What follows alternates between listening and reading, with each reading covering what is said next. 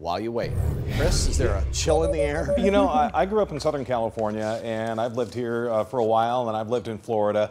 Uh, and I've also lived in cool places, and it's just tough to get into the holiday spirit when it's in the 80s or the 70s. At least today was more like November. The high today was below normal for the first time in more than a week.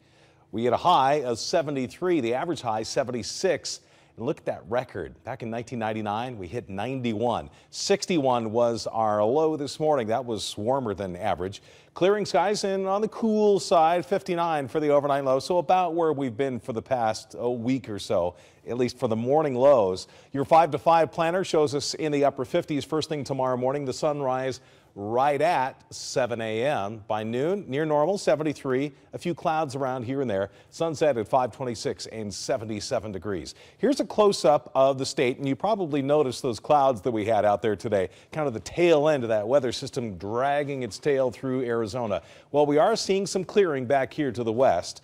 And as that continues to move off to the east, we'll have generally clear skies, a few clouds here and there. This is Saturday at 11 a.m.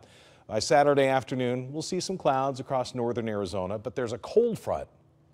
And that's the cold front I showed you just before the break. That will start to drop down into the state on Sunday. This is coming in from a slightly different direction. So this is going to bring in some colder air.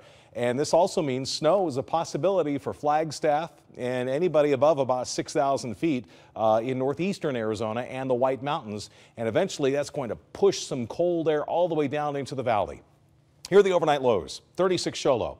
58 in Phoenix, 34 in Prescott, just barely above freezing, but that's going to change by the end of the weekend. Highs tomorrow, 50s and 60s to the north, 70s for the valley, but look at this zone by Sunday. Here are the Sunday highs. We're in the blue. Ooh, that means cold. 37 for a high on Sunday in Flagstaff.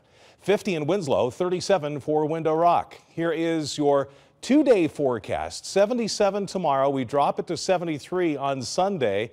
Windy and cooler on Sunday. Chilly mornings ahead, and you might look, well, 57? That's a chilly morning? No, I'm talking about Monday, Tuesday, Wednesday.